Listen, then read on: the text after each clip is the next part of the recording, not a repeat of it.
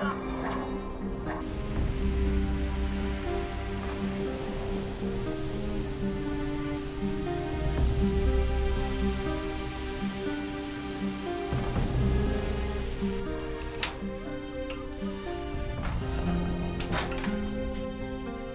bakayım şuna.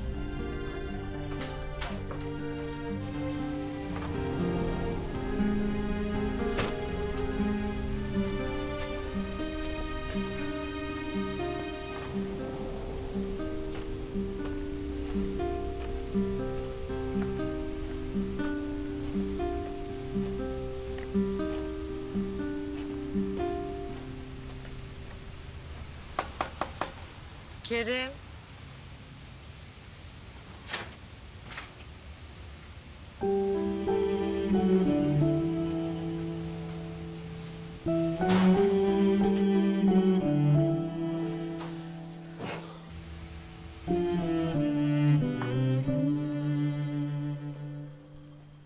Mm -hmm.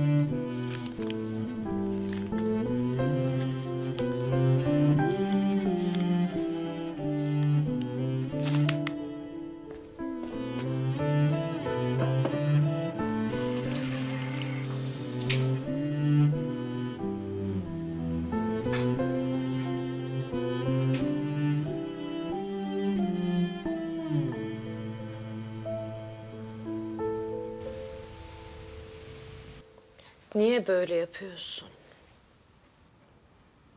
Niye mektupları okumadan yırtıyorsun oğlum? Belki bir derdi var. Bir oku, bir anla. Ne bileyim, belki hastadır, belki bir şeydir. Abla yeter. Yeter. Her mektuptan sonra aynı şeyi yapma bana. Ama sen de bir kere açıp oku lütfen. İstemiyorum. Okumak istemiyorum. Onu görmek istemiyorum. Benim için öyle biri yok. Yok. Yazdığı da umurumda değil. O yüzden bir daha bu konuyu açma.